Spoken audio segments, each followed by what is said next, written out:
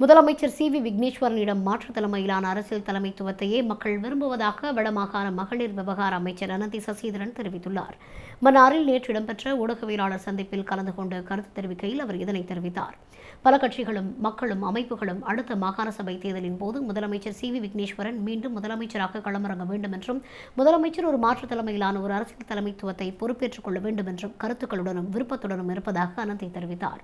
தான் செல்லும் இடமெல்லாம் துப்பாக்கி விவகாரம் தொடர்பில் என்னிடம் கேட்கப்படுவதாகவும் ஆயுதத்திற்கு விண்ணப்பிப்பதும் அதனை கையில் வைத்திருப்பது வேறு எனவும் தெரிவித்த அனந்தி அந்த விளக்கங்கள் தெரியாது விவாத பிரதிவாதங்கள் எழுந்து கொண்டிருக்கின்றது என்றும் தெரிவித்தார். திட்டமிட்ட வகையில் அடுத்த மாகாண சபை தேர்தல் வருகின்ற போது எனக்கு மக்கள் மத்தியில் இருக்கின்ற நன்மதிப்பை குறைப்பதற்காகவும் மறைமுகமாக எனக்கு ஒரு உயிர் ஆபத்தை ஏற்படுத்தவும் இந்த கருத்து ஏற்படுத்தப்பட்டது என்று அவர் சுட்டிக்காட்டியுள்ளார். தற்போது கொண்டு வரப்படுகின்ற பிரச்சனையும் முதலமைச்சருக்கு ஆதரவாக செயல்படுகின்ற முதலமைச்சருக்கு அதிகப்படியான வாக்குகளை பெற்றுக்கொண்ட பெண் என்ற வகையில் என் மீது சரமாரியாக தாக்குதல்களை அவர்கள் கட்டவிழ்த்து விட்டுள்ளனர் என்றும் அனந்தி மேலும் தெரிவித்தார். அடுத்த மாகாண சபை தேர்தலில் பல கட்சிகளும் பல மக்களும் கூட எதிர்பார்க்கின்றார்கள்.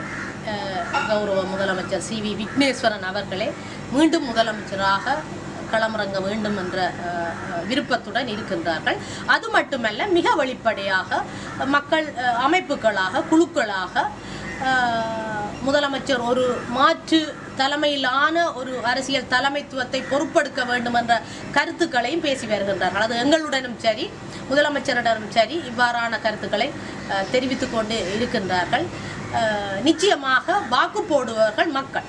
எனவே அது யார் முதலமைச்சராக வர வேண்டும் என்று நினைத்தாலும் கூட அது கடையில் பொருள் அல்ல. நினைத்தவுடன் நான் முதலமைச்சராக வர வேண்டும் என்று யாரும் விரும்பினால் அது கடையில் இருக்கிற பொருள் அல்ல. வேண்டிக் கொண்டு வருவதற்கு பணத்தை கொடுத்து இது மக்களுடைய மன உணர்வு சம்பந்தப்பட்ட விடயமும் அவர்களுடைய விருப்ப தெரிவு என்பதும் அந்த அடிப்படையில் மக்கள் தான் தீர்மானிக்க போகின்றார்கள். யாரை முதலமைச்சராக கொண்டு வருவதன் ஊடாக இந்த எங்களுடைய உரிமைக்கான குரல் அந்த ஒரு ஒரு தொடர்ந்தும் பேணப்படும் என்ற பக்கத்தில் மக்கள்லாம் தீர்மானிக்கப் தீர்மானிக்க போகின்றார்கள்.